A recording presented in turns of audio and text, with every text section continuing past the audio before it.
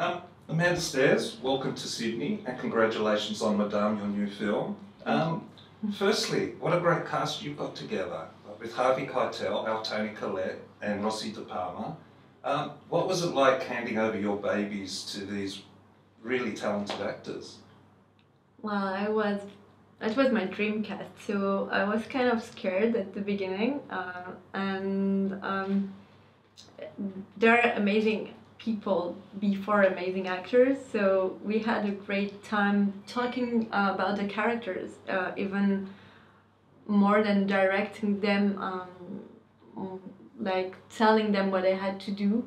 Um, the fun part was to uh, create characters together and give them a past and a future and understand at what point in their life they were and using their own stories to build um, a character.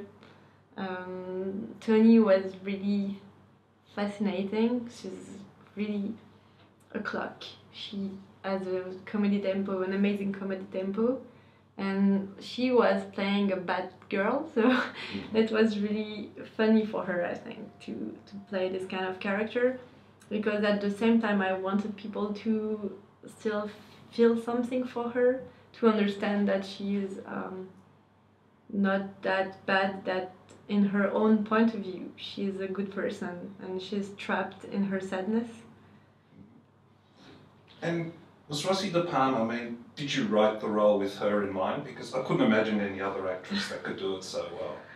So Rossy came to me six years ago asking me to write a play for her, and I said like um, I'm very flattered, but I'm I cannot write something on purpose. Uh, one day an idea will strike me and strike me and it will be your face on it. And madame came along and I called her and he she she wasn't on the first day. And um, so I wrote it basically I wrote it not really for her but um, I think um, her her face was somewhere in my mind waiting to jump on a part. okay. Um, because I was wondering what did drive you to write it, because even though this is like Cinderella and a bit of Bridget Jones, it's, it's got a real political level to it as well. Yes. Was that important? Yes, it's a really, for me, it's a really uh, a social comedy.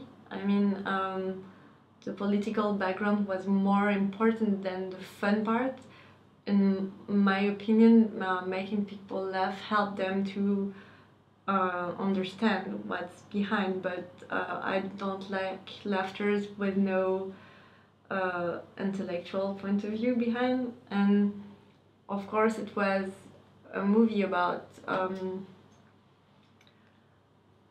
the fact that money is the new color of skin the fact that you cannot move from a social background to another and i think um, nowadays, uh, living in Trump's American society, you can get that it's harder and harder, uh, even if uh, the American society pretends the opposite, but it's harder to uh, move uh, to a place different than the one you were born in. Um, as education is not free, as uh, it's there's like a real um, it's a real ladder and society um, is not helping you to get up.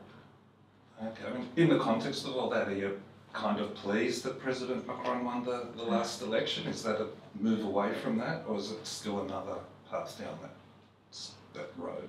I don't know if it's a move away. The thing is, we didn't find another solution. We didn't find a better option than um, capitalism, so we have to deal with it. And Macron is still a kid of capitalism with his good points because he's a bit lefty, so he wants to help people.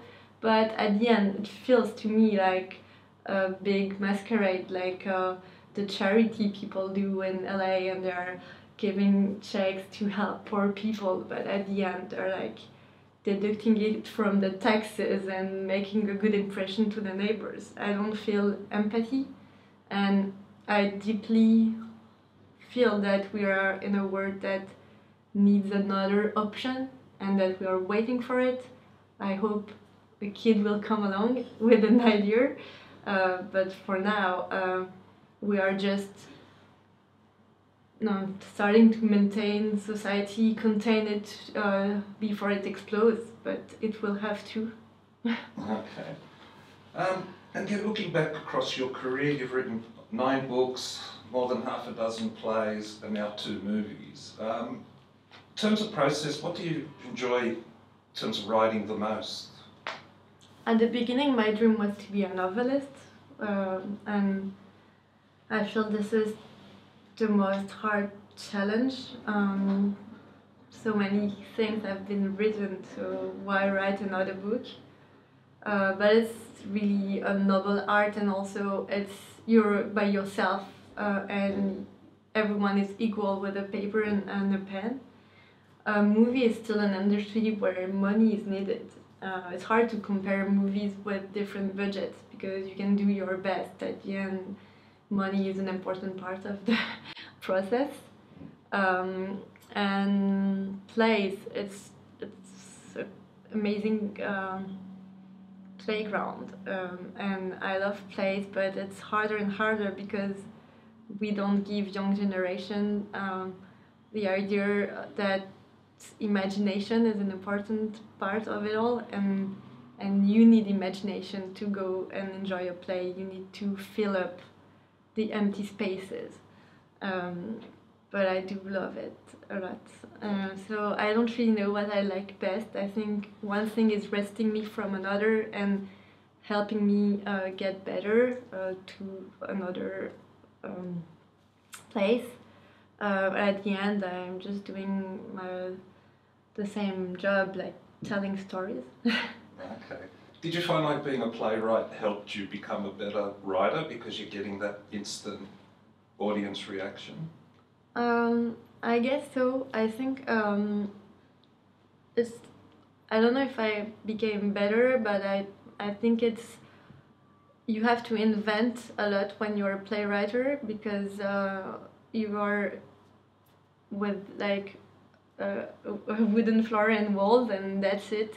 So it helped me find solutions when I don't have enough money in a, in, in a movie and invent another way of telling the same thing and gave me freedom, I think. All right. Um, Manta Sthers, thanks for talking to On the Town and good luck with Madame. Thank you very much. You're welcome.